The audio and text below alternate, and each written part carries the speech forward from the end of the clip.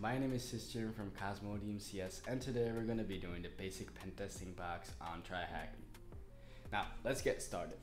Once you have the website open, you will need to connect. So go to your profile, click on access and download your OpenVPN file. It's important to run this command, sudo openvpn and your VPN file. Make sure that you change the name, mine is System, yours will be your username, and then you, you're connected to the TryHackMe network. The second thing you'll want to do is go to TryHackMe and boot up your box. Mine is already started, it will take a couple minutes to fully boot up so make sure you give it some time. You can also add an hour, which I did, to make sure it doesn't just go out once when you're doing your box. So, let's get started on this box. It's made by John Hammond, so it's a pretty good beginner box, and that's why I chose this one in particular. Let's get started. So, deploy the machine and connect to a network. Once you got your IP copied, you will need to run Nmap. This Nmap is a network mapping tool. Uh, it will basically give you all the ports um, on the machine which are open or closed uh, or filtered or whatever and give you that the information you need to get started hacking this machine. So let's get started. We're gonna run nmap sc sv a t5 and then your IP. Let me explain what ports these are. So sc uh, is the de default scripts, sv is for the version numbers, a is for the host enumeration, and t5 is to make it go faster basically. Then you're gonna paste your IP there and you can get started. I'm gonna pause the video for a second and let it finish up, but it will take maybe two minutes or faster if possible. So the scan has finished. Let's take a look at the results. So what I'm seeing here is we have SSH open. It's running OpenSSH 7.2. That's maybe vulnerable. We don't know yet. Then we have an HTTP server. Looks like SMB. Another HTTP server and yet another HTTP server running Tomcat. So the first thing I always do is check for the default just uh, port 80 HTTP server. We can go and access that by just going to the IP in our browser. Okay, undergoing maintenance. Let's check the source code first. Check our dev node section if you need to know what to work on. Okay, the first thing I always do when enumerating a HTTP server is running a GoBuster scan.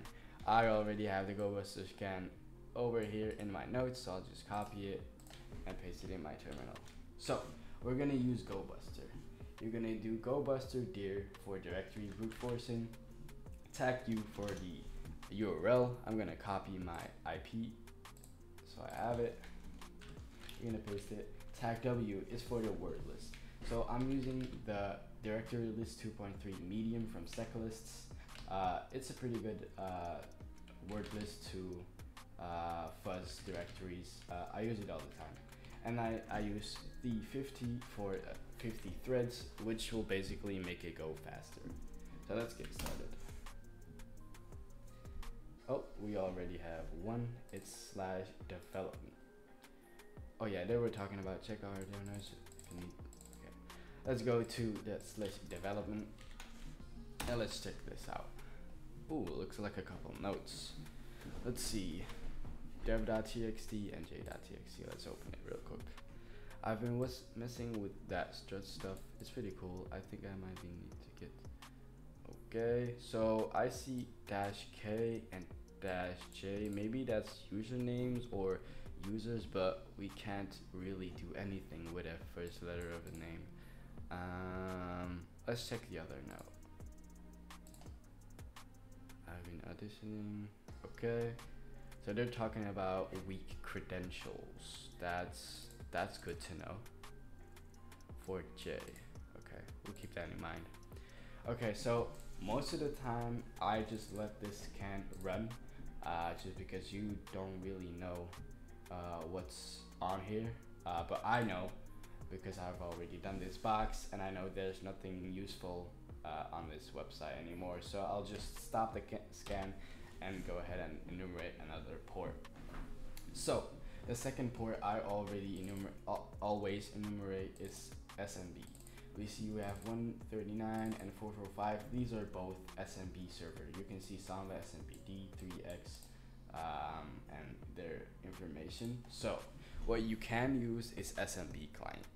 Uh, this is basically a tool to uh, get and try, try and get access into the SMB shares to see if there's any share that is um, open or access accessible by everyone. Um, so I'm gonna just do that. The command for that is SMB client tag L four backslashes VIP, which I oh that sucks. Okay, let me just get that back. There we go, and two backslashes. So now we're gonna list all the shares on a network. Um, you whenever there's password for work group system you can just press enter uh, to leave it blank and we can see there are two shares we have anonymous and IPC with a dollar sign this dollar sign is really important because it means that you will not be able to access this share without any credentials but we have anonymous that we can access so we'll try and access that remove the tag L because you're not gonna list the share. You, you're just gonna access it and just press enter. So looks like we got in. Let's try and list all the ooh, staff.txt. That might be important. Let's just get this file and put it on our local I'm gonna make a quick directory and call it basic cd into basic and move our staff staff.txt into basic here. Okay, so now we have the staff.txt and we can try and get it out. And now it's Announcement to staff. Please do not upload non-work related items to this share. I know, it's all fun, but this is how mistakes happen. This means you to jam. Oh, and it's from K. Let's see, we'll keep that in mind. Uh, let's just make a um, notes file, txt. Let's just add Jan, Jan, and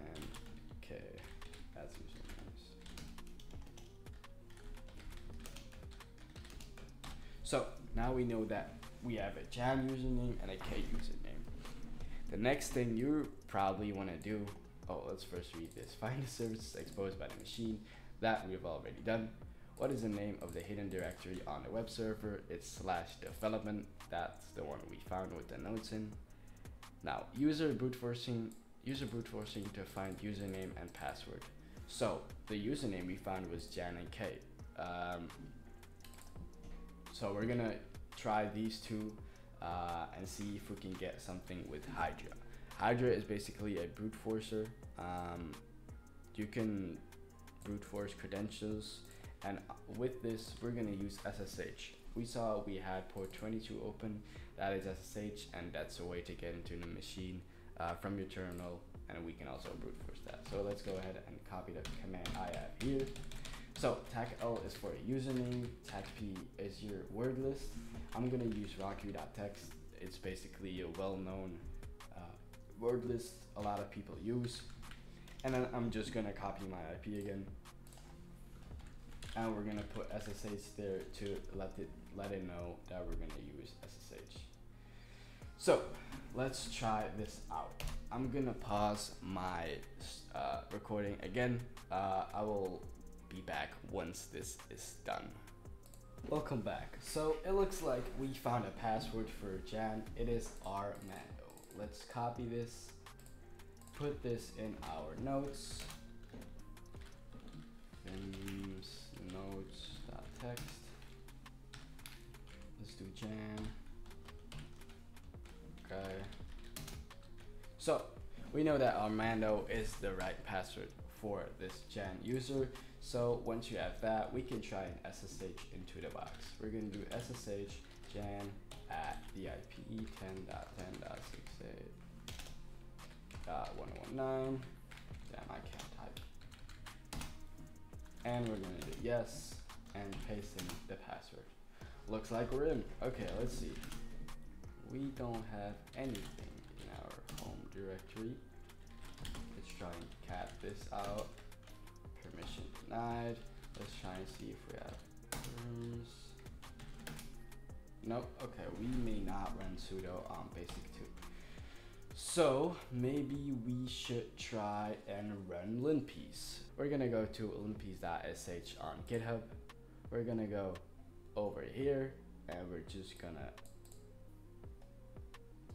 go to releases, linpiece.sh, and this is installed. So we're gonna move downloads linpiece over here, and now we have it. So because this box is inside of the network, it will not like us doing um, connections or requests to the outside of the network. So we are also in a network, so we can just communicate with it that way. So we're gonna go and start a Python server, Python tag m h. Python 3 tag m http uh, server 80, and we're probably have to do sudo in front of it. So looks like the server has started. Let's just get my IP, ifconfig.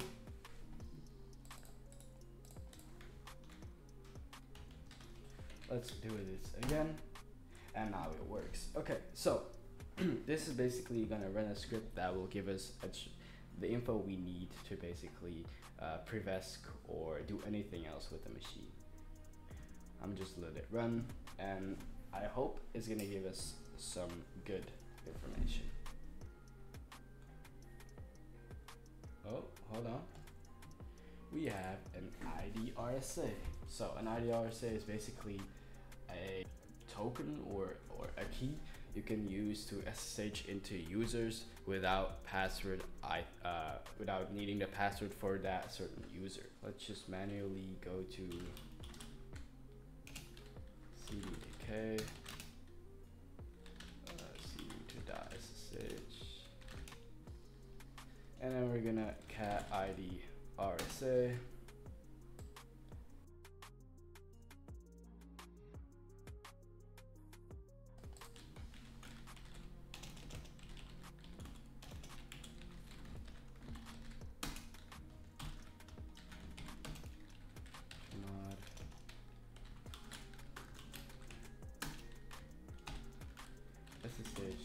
i k r s a k at 10 dot 10 dot 6 a dot 019.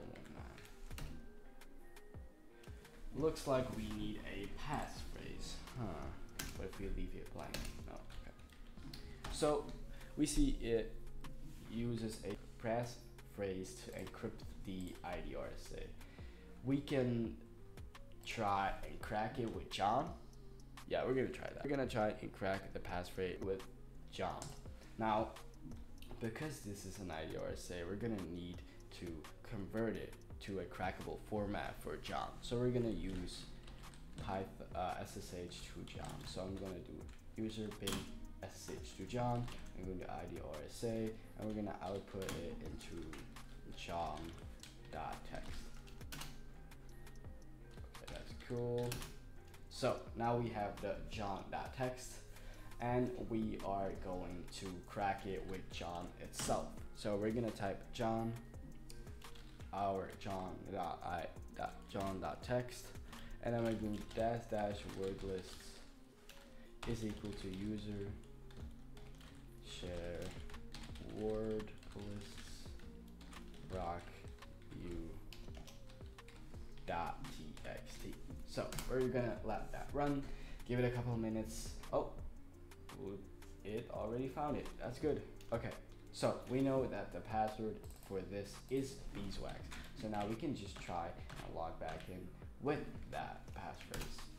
I'm gonna do beeswax, beeswax, and there we go. We're in. Now we're in the K user. Let's see what we have. We have a pass.bak file let's maybe try and go back to our try TryHackMe So what service? Yeah, we found the passwords, we used SSH, we enumerated the machine with linpiece, the username we found was K, and then if you find another user, what can you do with this information? We just brute force the passphrase. And what's the final password you obtain? Let's see, is it in the past back? And it is. And there you go. Thank you for watching this video. I hope you enjoyed it. Um, yeah, have a good one. Hey hackers, Blue Cosmo from CCS here, and I wanted to introduce you guys to the Happy Hacker Site Plan. The Happy Hacker Site Plan is a plan where you guys can support us for only $1 a month. That's right, $1. With this comes exclusive benefits like courses, articles, videos, and access to our entire cybersecurity knowledge base. Um, if this interests you and you guys want to um, get access to all this, check out the link in the description. It's only $1, so we definitely appreciate your guys' support. Um, anyway, enjoy the video and uh, happy hacking.